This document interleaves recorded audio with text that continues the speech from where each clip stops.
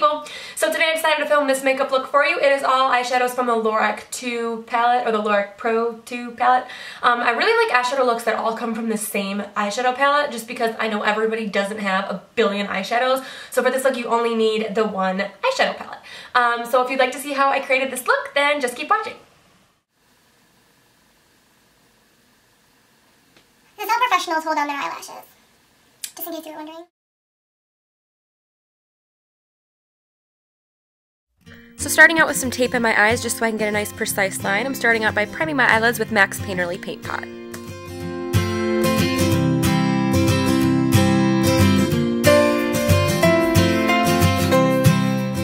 Starting with the Lorac Pro 2 palette, I'm picking up the color Nectar on a MAC 217 brush and I'm blending it into the crease and the upper crease from inner corner to outer corner, more concentrating on the outer corner and just blending it until I have the desired color that I'm looking for.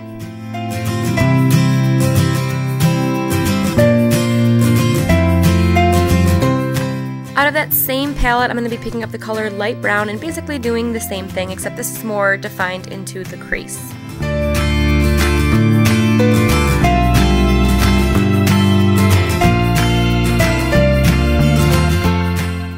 On a big fluffy brush, I just took a little bit more of Nectar just to blend everything together. Picking up MAC's Fix Plus, I'm going to spray it on my brush and pick up the color Rose, and I'm going to be putting this all over the center and outer corners of my eyelid, keeping the inner part open.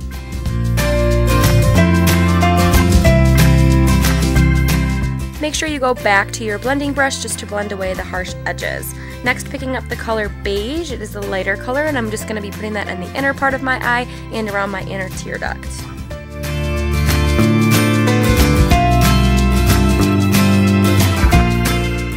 Then again, make sure you get your blending brush just to blend away any harsh edges. Next is the color Cool Gray. I love this color. It really makes it look like you are having like shadows in your eyes. Um, so I'm just going to be putting this in the very outer V of my eye and then just slightly blending it up into the crease. And I'm using a just a brush that came with one of my Naked palettes. And then I'm going to be going back with my big fluffy brush and making sure it's all blended.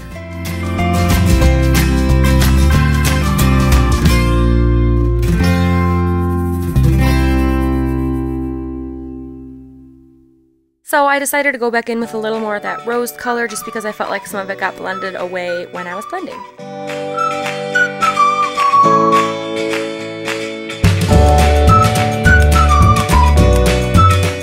Picking up the color Buff, I'm just going to be using this as a brow bone highlight.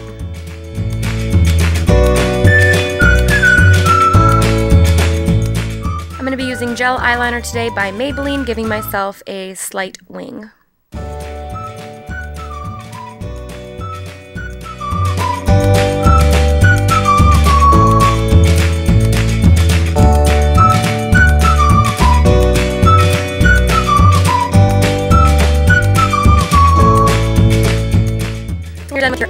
Can just remove the tape.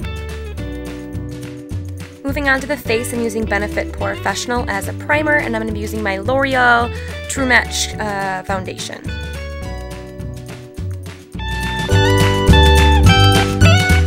Now I do realize that this foundation is a little bit dark for my face, but I do self-tan, so it does match my neck and the rest of my body.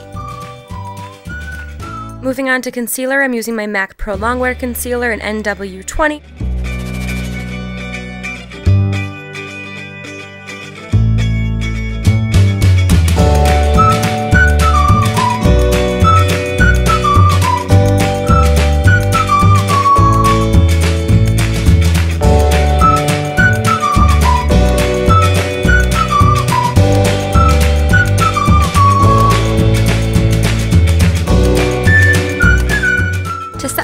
I'm using the MAC Mineralized Skin Finish in Light.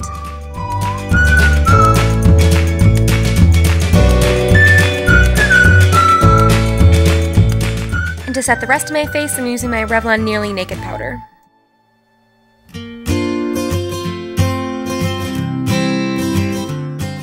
And to bronze up the skin, I'm using my MAC Mineralized Skin Finish in Give Me Sun.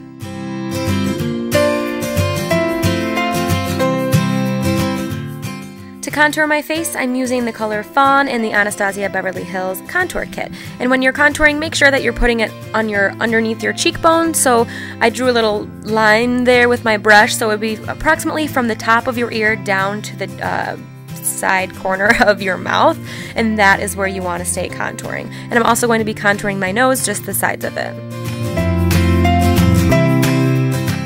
So I'm also going to be using the banana shade to highlight down the bridge of my nose and just on the very sides of my nose just to make sure that it looks nice. I mean, obviously, I wouldn't want to look bad.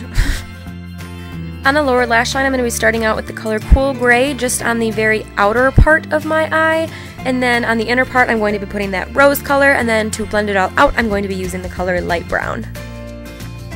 For blush, I'm going to be using Songbird by Becca.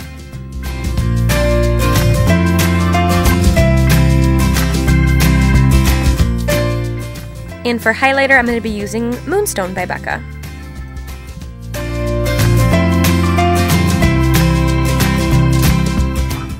For mascara, I'm using the L'Oreal Telescopic, and you could just leave it there, but I like going all glammed out, so I'm going to be adding false lashes, and these are the House of Lashes in Iconic. For lips, I'm going to be lining my lips and filling them in all with the same color, and this is Spice Lip Liner by MAC.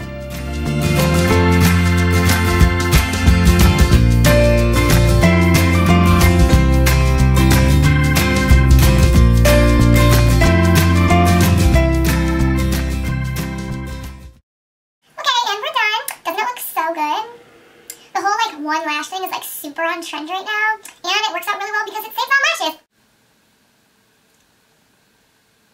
Probably easier if I got closer to the mirror. And we're done. Don't those lips just look so good? It's the new trend. I'm just doing so many new trends in this video. It is crazy. I keep looking at the viewfinder.